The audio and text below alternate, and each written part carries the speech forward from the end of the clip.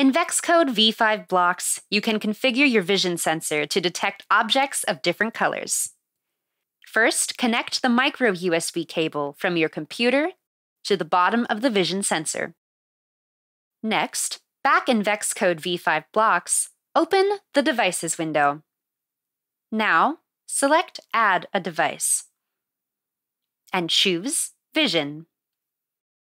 Lastly, select which port the vision sensor is connected to on the V5 brain. The vision device screen appears. From here, you can change the name of your vision sensor. You can also configure your vision sensor.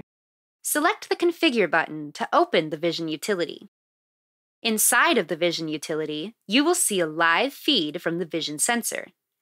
The live feed is used to allow you to configure the Vision sensor to detect different colors.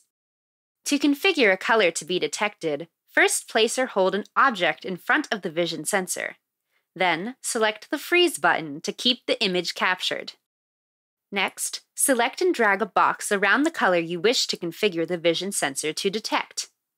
Now, select one of the Set buttons on the right side of the vision utility to store this color in a signature. Whenever the vision sensor captures a color, all of the color's properties are stored as a signature. The vision sensor is able to store up to seven different signatures. Lastly, you can rename your signature in order to identify each signature in your project.